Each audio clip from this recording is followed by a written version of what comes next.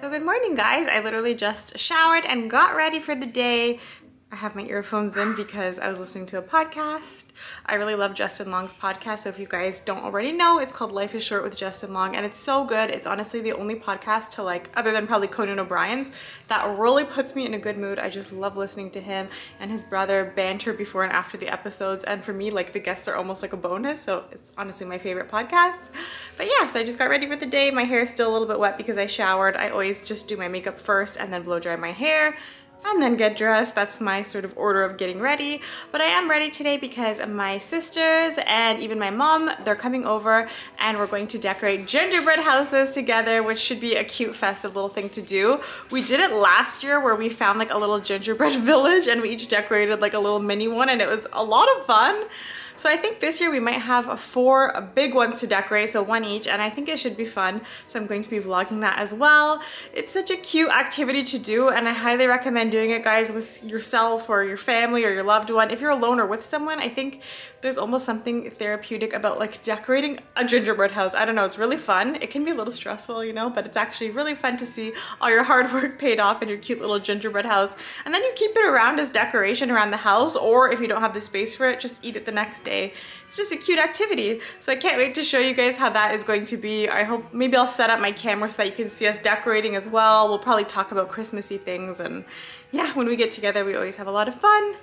Luna, little Luna's looking at me like, Mom, who are you talking to?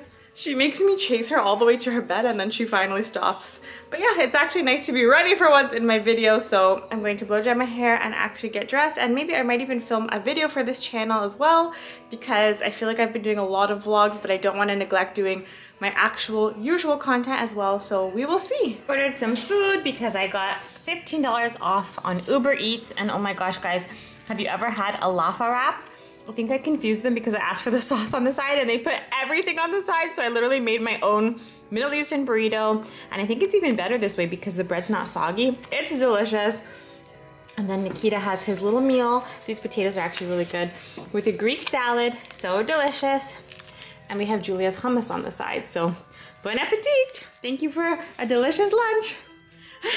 Look how excited Luna is near the Christmas tree. What are you looking for, sweetie? Come here. Me, that's the most comfortable spot for little Luna. She's always just sleeping on me, guys, like this.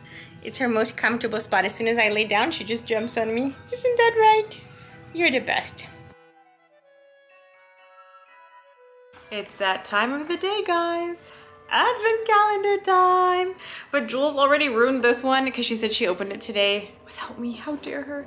And she said that this one was actually one that we already got. So instead of saving this for last, I'm just gonna do it right now. So let's see, today is already, oh my gosh, I cannot believe it.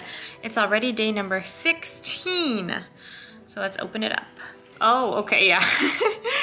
maple cream milk, organic maple butter from Quebec. Hmm,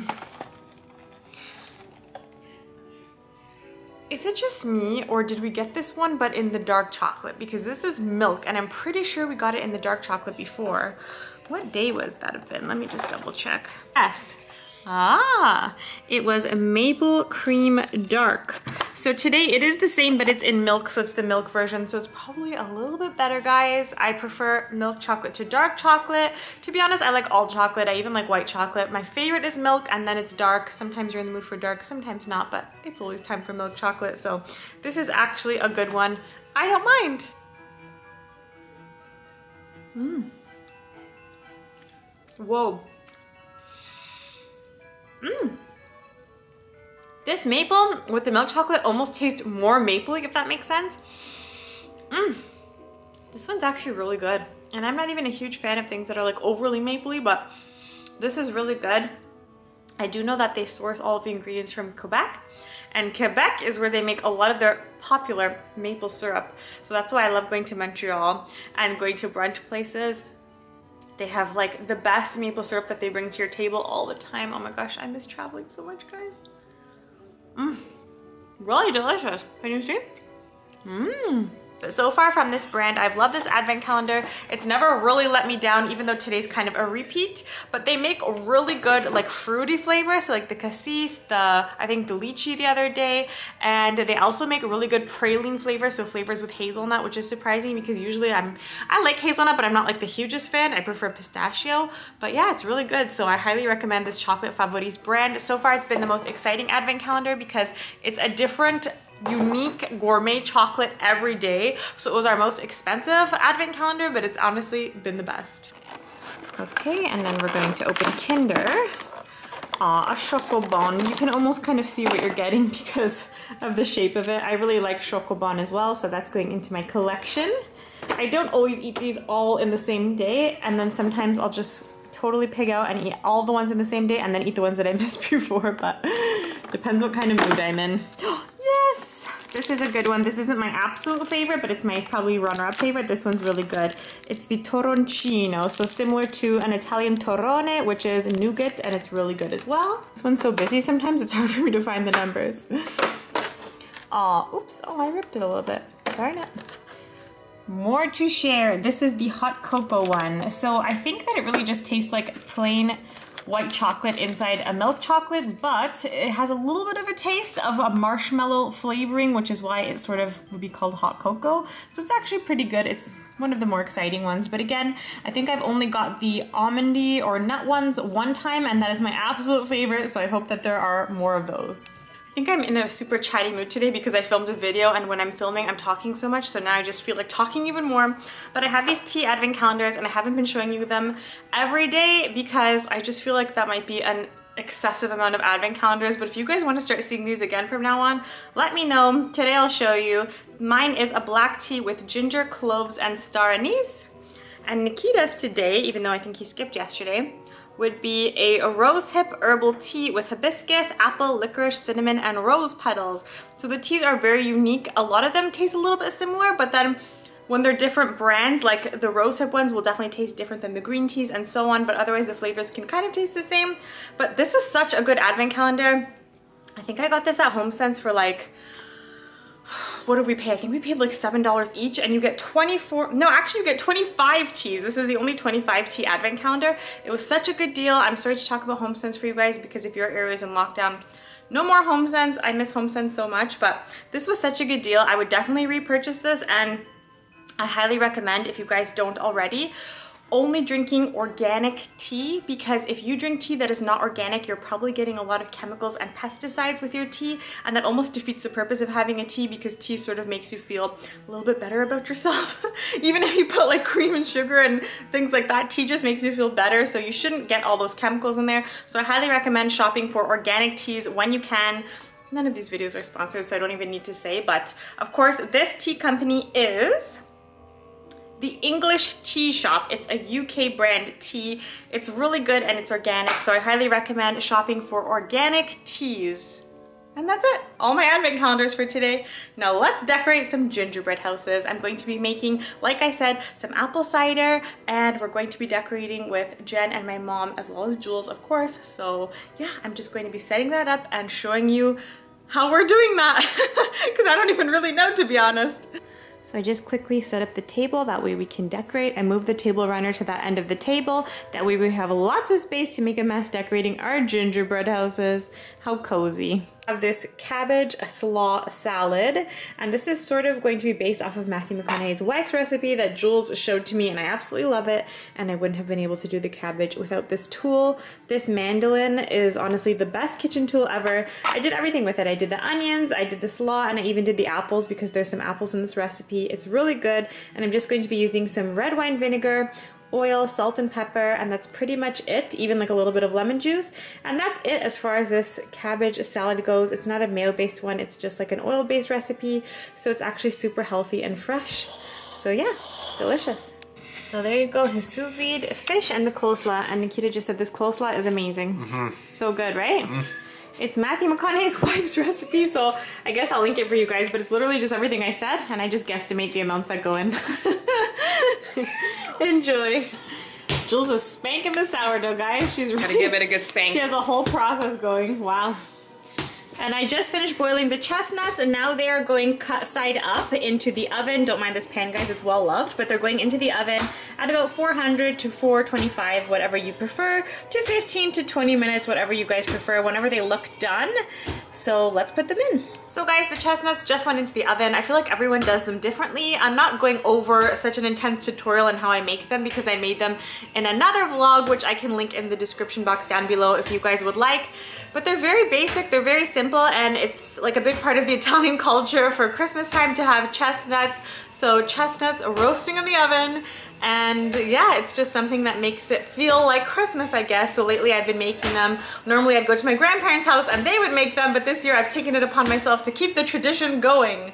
Do you guys like roasted chestnuts? To me, they kind of taste like sweet potatoes or something like that, but they're actually really good and they're kind of fun to make. So just something festive that we do during the holiday season. And after the 15 to 20 minutes in the oven, I didn't show you guys this step last time, so I'm showing you now, but you wrap it in a towel and you could even crush it a bit so that you make it easier to peel after.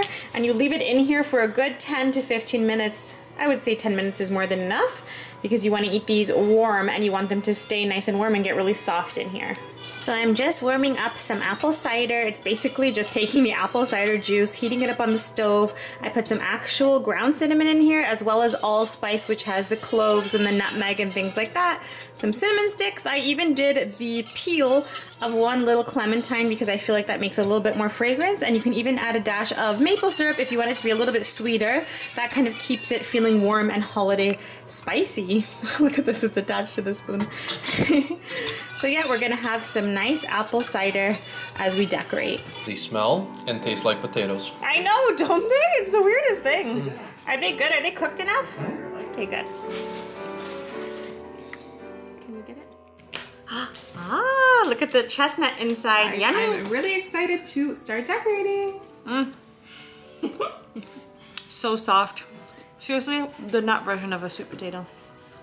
So this decorating of gingerbread houses has almost become like a little bit of a yearly tradition for us. We hmm. decorated them last year. We got a little gingerbread village and we all decorated a mini one. This year I think we're gonna have a big one each so it's gonna actually be fun to see Ooh, I'm excited. whose is the nicest. yeah, we love doing this. Yeah. It's honestly like Lee said, a tradition and it's really fun. a fun Christmas. My eyes look so small compared to yours because oh you have God. all this eye makeup. I, like, I was just looking at how crazy my eyes look right now because they look really dark.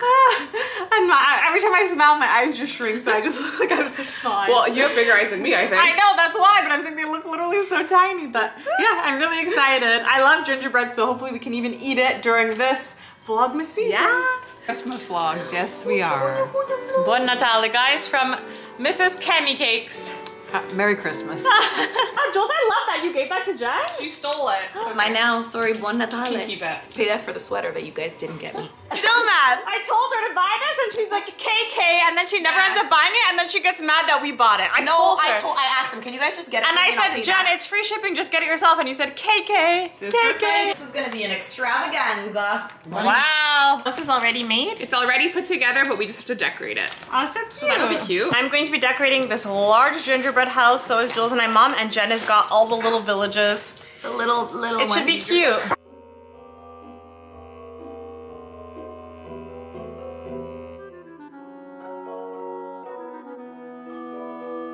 Falling down. Okay, so that's one part of the roof. I'm gonna pretty much do the same on the other side. The now let yeah. The roof. The roof. Now let's see how Jen's decorating.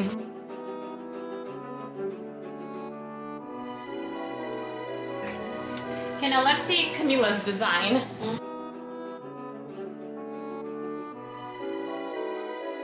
Julia's.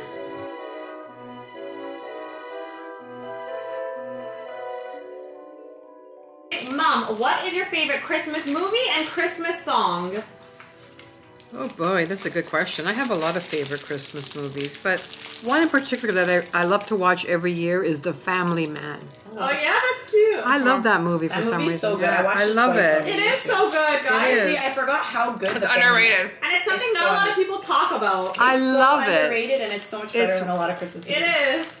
It's it's just it's just I find it a magical movie. It's just no, it beautiful. Is. It's a great movie. Yeah, and great Cage meaning. Is your paisano, right? Nic- Nicolas Cage is. is. in it, Did and it's look it up. It's great. It's a great movie. I really like it. Okay, and your favorite Christmas song? Christmas song? Oh goodness.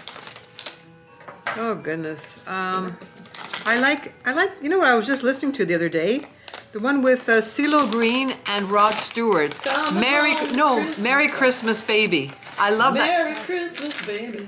Oh yeah? It's cute. Sure to treat. So Jen, what is your favorite Christmas movie and Christmas song? Christmas movie? Hmm. It's so hard because I, as a kid, I used to love the Santa Clause.